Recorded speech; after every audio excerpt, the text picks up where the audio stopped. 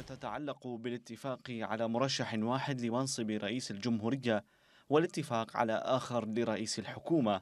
انتهى اجتماع رئاسة مجلس النواب برؤساء الكتل النيابية بعد أن كان مقررا له أن يسفر عن أسماء أو آليات محددة لاختيار رئيس للجمهورية بين مرشحي الحزبين الكرديين على أقل تقدير.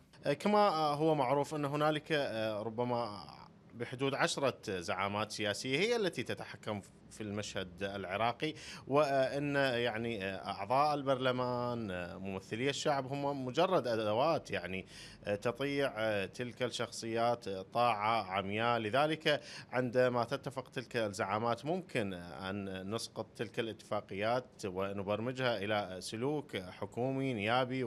محللون سياسيون يرجحون أن الاجتماعات المقبلة قد تسفر عن اتفاق وحلحلة للخلافات باتجاه التوافق إذ أن نقطة الخلاف حول منصب رئيس الجمهورية يمكن التوافق عليها بعد التخلي عن أسماء مرشحين بعينهم. نحن لا نستطيع أن نتخلص من التوافقية بخطوة واحدة.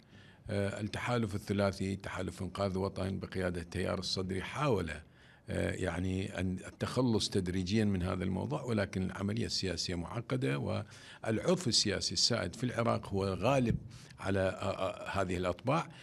وفي الوقت الذي دعا فيه الإطار التنسيقي الشيعي مجلس النواب للالتئام للنظر في الاستحقاقات الدستورية لم تتمكن فيه رئاسة مجلس النواب في اجتماعها اليوم من تحديد موعد جلسة اختيار رئيس للجمهورية ليصار إلى تأجيل الحسم. بانتظار مواقف سياسية يتم التوافق على مخرجاتها.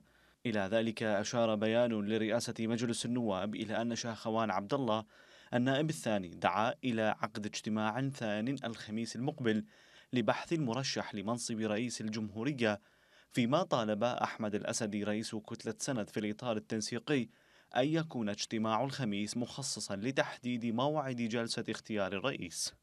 يأتي ذلك في ظل ترجيحات صدرت من عدد من النواب وخاصة المنضوين تحت الإطار التنسيقي عن ترشيح عدد من الأسماء لتولي منصب رئاسة الحكومة المقبلة.